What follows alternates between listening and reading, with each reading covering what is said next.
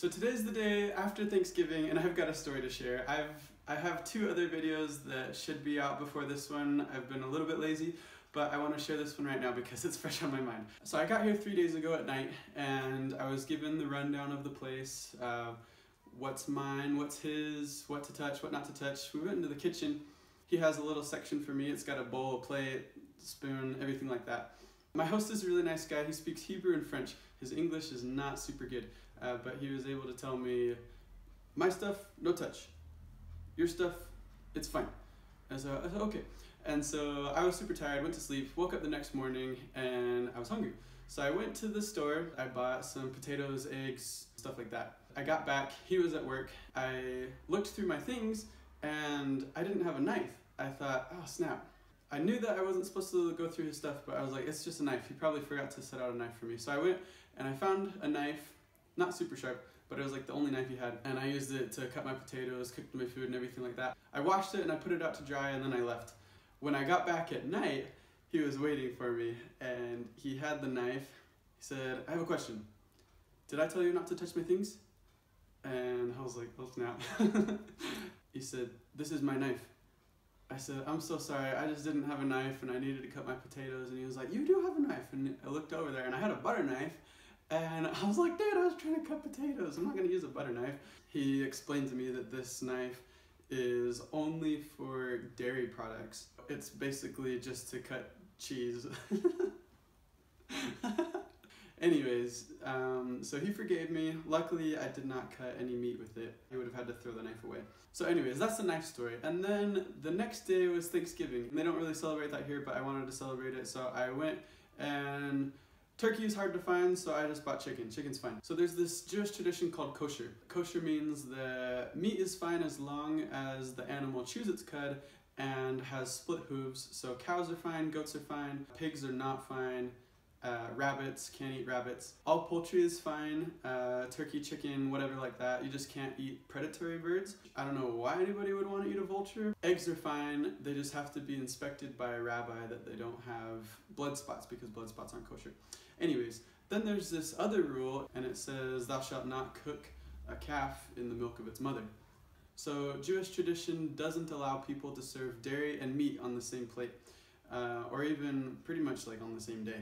Uh, so restaurants don't have cheese on their burgers. Pizza is all vegetarian. Restaurants have separate silverware. One set is for meals with meat, and the other set is for meals that have dairy in it.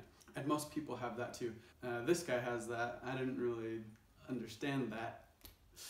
On his Airbnb website, he had typed vegetarian, kosher and vegetarian food only. But he meant to say kosher vegetarian food only and that pretty much is just trying to say that your eggs need to be inspected by a rabbi because all fruits and vegetables are kosher anyways. So you don't really need to say kosher vegetarian food.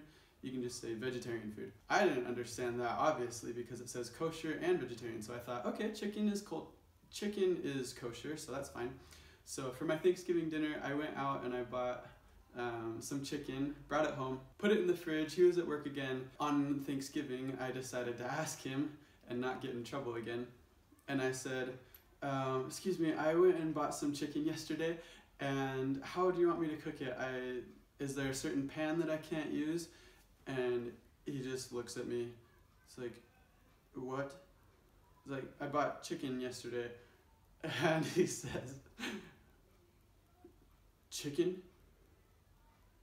You bought chicken? And I said, yeah he opens up the fridge and sees my chicken in the back. I had kind of put it in the back.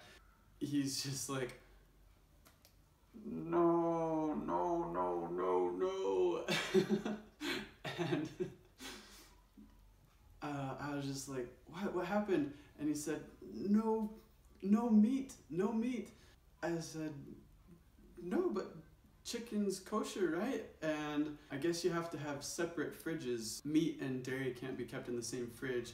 False, that's actually not true. You can keep it in the same fridge. I've been doing my research. Certain steps need to be taken in order to put them both in the same fridge. They need separate shelves You have to make sure that nothing can leak on anything. One thing can't be above the other thing, even if there aren't any holes that can't be above it. I didn't follow any of those steps. That's why it was a problem.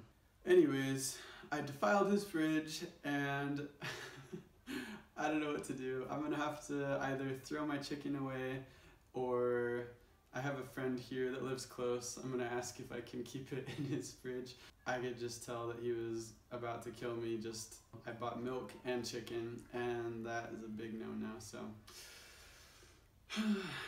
that was my Thanksgiving. Hope yours went a lot better than mine. I defiled a Jewish man's fridge, and I feel really bad about it. Um, so be grateful for the things that you have. Uh, be grateful for your family. I miss my family today, and I hope that they're doing good. And I'll see you guys later. Peace. Here are the defiled items. I've got two more weeks here. I hope he's okay. Thanksgiving. Happy, happy Thanksgiving. Happy Thanksgiving. Thanksgiving. Happy Thanksgiving.